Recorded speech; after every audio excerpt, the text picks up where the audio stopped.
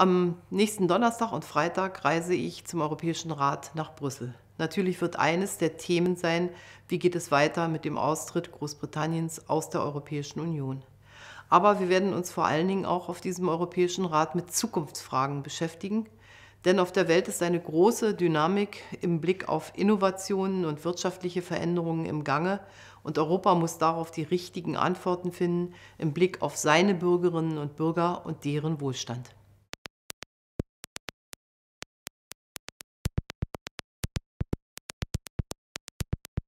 Der französische Präsident Emmanuel Macron und ich haben vorgeschlagen, dass wir uns zusätzlich zu den Themen der wirtschaftlichen Entwicklung, die immer im Märzrat auf der Tagesordnung stehen, mit einer europäischen Industriestrategie beschäftigen.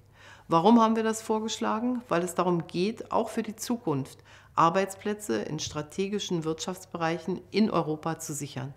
Dazu gehört der gesamte Bereich der Mobilität, sowohl im Bereich des Automobils, aber auch im Bereich der Bahn.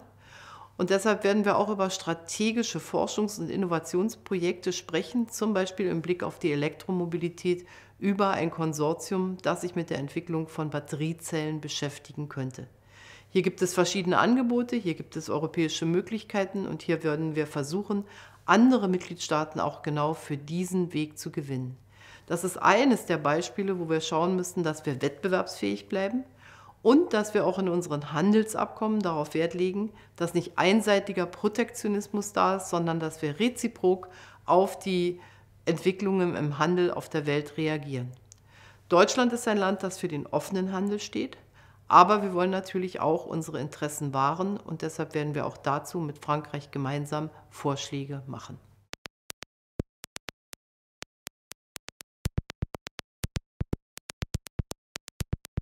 Für die Arbeitsplätze in Deutschland und in Europa ist die Frage, wie wir die Digitalisierung gestalten, von entscheidender Bedeutung. Dabei geht es uns darum, und dafür werde ich auch in Europa werben, dass wir die betroffenen Menschen sehen, die Arbeitsplätze und die Menschen, die auf diesen Arbeitsplätzen arbeiten. Das heißt, Digitalisierung muss so gestaltet werden, dass die Menschen mitgehen können. Und das bedeutet vor allen Dingen bei den dramatischen Veränderungen, dass wir stärker auf Ausbildung und Weiterbildung setzen. Zweitens müssen wir darauf achten, dass wir innovativ genug sind und auch die entsprechenden Fachkräfte haben. Das könnte in Deutschland, aber auch in anderen europäischen Ländern ein großes Problem werden. Deshalb werben wir in Deutschland für die sogenannten MINT-Fächer, also Ausbildungen im Bereich der Mathematik, der Ingenieurwissenschaften, der Naturwissenschaften und der Technik. Und ich sage dies ausdrücklich im Blick auf Männer und Frauen. Denn beide Geschlechter müssen gleichermaßen in diesem Bereich aktiv werden.